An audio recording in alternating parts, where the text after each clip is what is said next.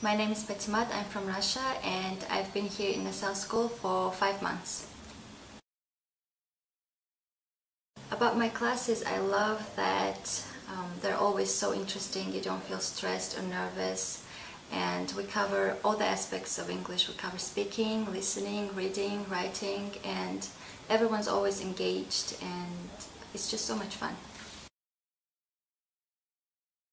Uh, the teachers are amazing here in Nacel. Uh, my teacher is Anna Marie and she's just such an energetic person that even if you come to class tired or sleepy, her energy just rubs off of you and instantly you become just as energetic as her and she's just an amazing woman and an amazing teacher. Yeah. Uh, my English has improved tremendously, especially my speaking, because now I feel more comfortable um, with speaking. Um, before I didn't really used to speak much, I couldn't get my words out and now um, it just feels so natural to me. The neighborhood's really nice, it's very calm and very quiet and um, the main road has everything you need. It has shops, coffee shops, Tesco, cafes, pharmacies, anything you will ever need. It's not that far. Uh, the station is about four minutes away from school and it takes about 25 minutes to get to the central London.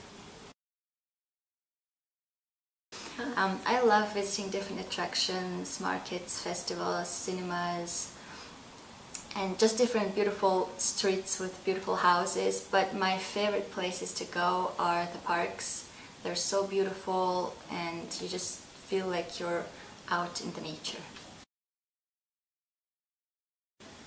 Because London is the heart of English and you can really hear British people and their speech and you can also meet a lot of people from different countries who are also learning English and maybe learn something from them.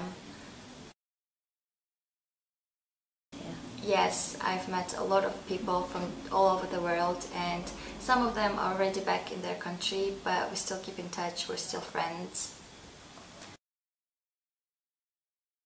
Yes, I've met two famous people. I've met David Beckham and I've met Arsene Wenger and it was unbelievable.